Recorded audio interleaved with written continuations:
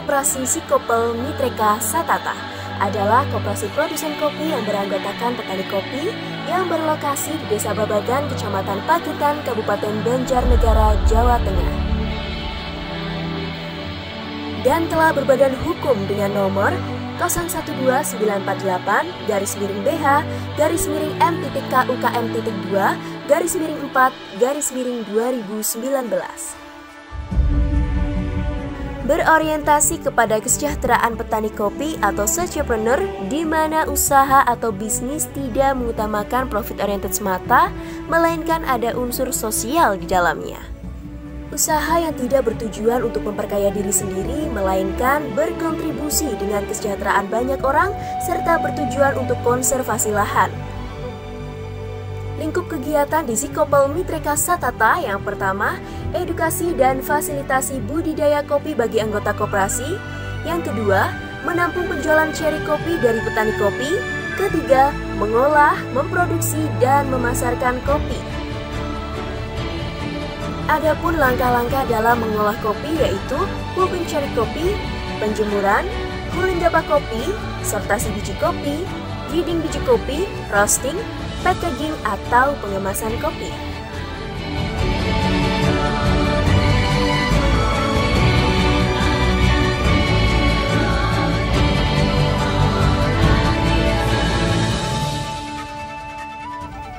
Sikopel Mitreka Satata memiliki visi menjadi koperasi produsen yang mampu memproduksi dan atau menampung hasil produksi anggota yang selanjutnya memasarkan produk baik dalam negeri maupun luar negeri.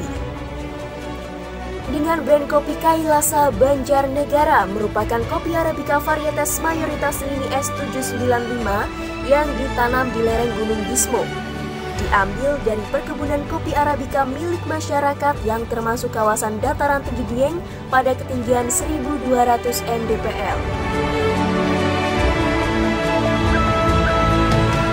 Kailasa itu sendiri diambil dari bahasa Sanskerta yang berarti pegunungan perak, di mana kami mengartikan bahwa daerah kami termasuk kawasan pegunungan Dieng, tepatnya di kaki Gunung Bismo yang selalu diselimuti kabut seperti pegunungan perak. Dan di Dieng itu sendiri terdapat Museum Kailasa yang menjadi maskot kebanggaan warga masyarakat Banjarnegara. Arti lain dari Kailasa adalah kail yang berarti alat atau sarana dan asa yang berarti cita-cita atau tujuan. Produk kopi Kailasa dipasarkan dalam bentuk green bean, roast bean, dan grow yang dikemas di dalam standing pouch, box saset, drip bag, dan paper cup dengan proses full wash, honey, dan natural dengan aroma yang khas, rasa yang pas, serta varian dalam proses pengolahan menciptakan kopi khas Nusantara yang berkualitas.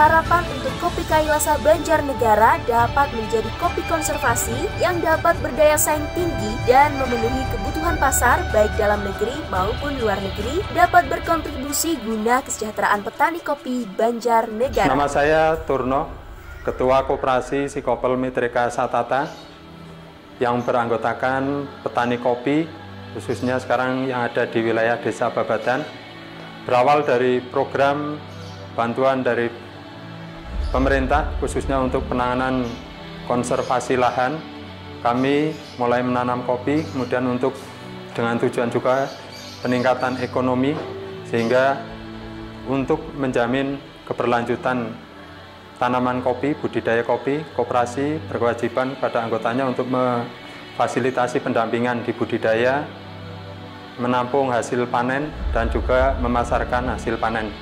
Itu tujuan dari koperasi kami, sehingga harapannya konservasi lahan di wilayah Babadan semakin lebih baik, tapi di sisi lain juga memberikan nilai tambah ekonomi yang lebih baik kepada petani, khususnya petani kopi di Desa Babadan. Kopi Kailasa, mantap!